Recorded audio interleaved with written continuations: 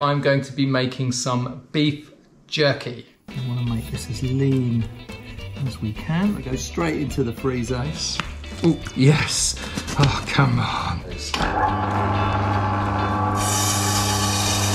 Oh yeah, look at that. Really, really accurate slices. Half a cup of Worcester sauce. That's gonna go in. I think it'll break me.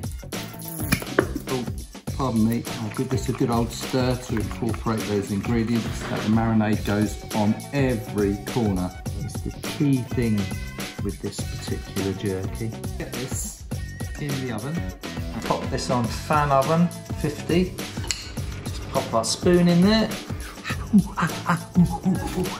And this is all really nicely dried now. I'm gonna have to eat this. It is absolutely delicious.